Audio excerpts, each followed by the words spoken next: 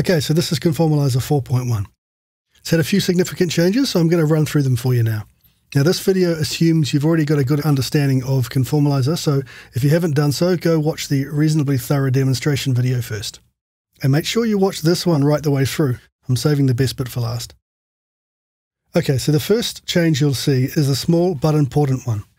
On each page, we now have a duration field showing the length of each event. Now you'll understand the importance of this better when I show you the next feature.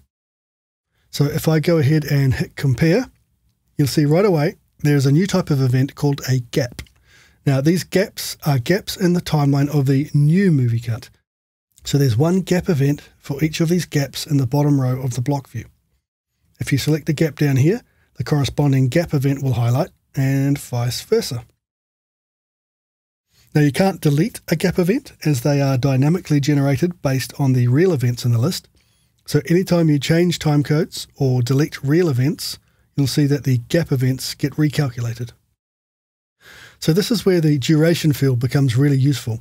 You can see at a glance which gaps are really significant and which ones are not. The next change is also a small one. We've switched some of the color coding to be more consistent.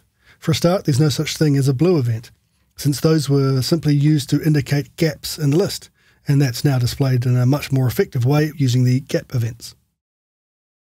We've also changed the colour of visual effects update events to green, since red makes more sense to be used for gaps, unmatched shots, and unmatched video frames. Next is drag and drop for movies. This is self explanatory, really. You can load movie files by dropping them on the relevant movie view. Trim to head and tail is an often requested feature.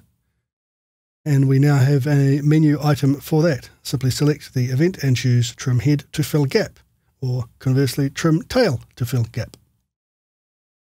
Control scrubbing in the block view now has a zone in the middle which lets you scrub both movies together, with the offset between them locked.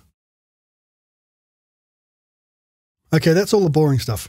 There's one more feature you need to see, and it's something I've been dreaming of adding for years.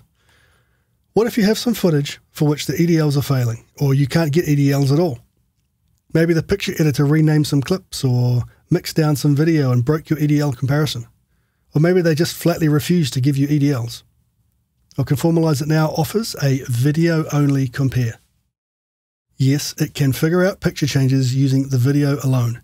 No EDLs or change notes required. So here's our example of a shot which failed to match using the EDLs. We can select the gap and then call up Compare Video for Selection. Right away you can see it's got a result which the EDLs could not.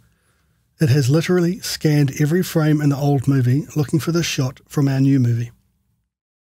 So let me delete this one here and then search for it using video only. And there's our result. Perfect.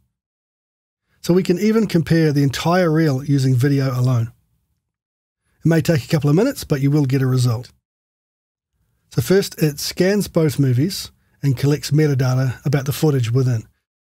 This takes two or three minutes per reel, but it is saved for next time that you use that movie. Then it starts searching for shots. So it literally compares every shot in the new movie against every shot in the old movie one frame at a time. Now, it's not going to work in every case, and there are lots of picture changes which can trip it up. Things like color grading, scaling, racking, and VFX changes can all cause the video comparison to fail. But in many cases, this is also a good heads up to you that something has changed. Okay, we're going to race ahead and show you one I prepared earlier. And you see the result here. It's almost identical to the EDL comparison that we made earlier. So this is a new feature and it's going to evolve over time as we get feedback from you.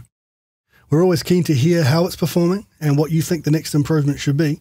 So give it a spin and don't hesitate to get in touch. Conformalizer 4.1 is available for download now.